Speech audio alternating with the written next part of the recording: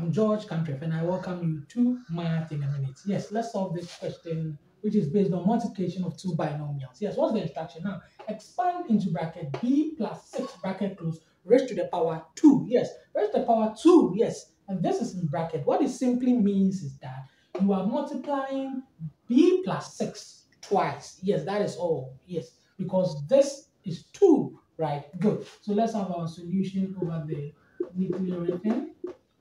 Good. So we have b plus 6 bracket close and b plus 6 bracket close. Yes, it's multiplying itself twice, right? Good. Now let's use rules of algebra. Yes, one term in one bracket is multiplying what?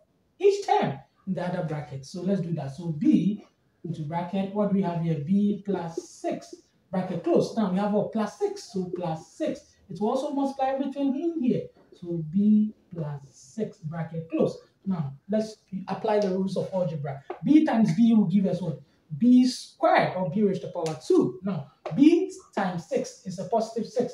It will give us what? 6b.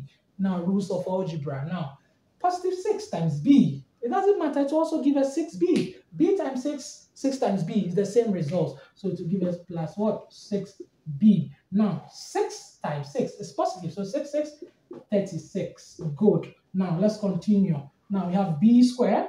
Now, let's check whether we have lighted. Yes, 6b and 6b. These are like terms, so we can solve them together, right? Good. Now, so 6 plus 6, that's 6b plus 6b, which will give us positive what? 12b. Then you have your plus 36.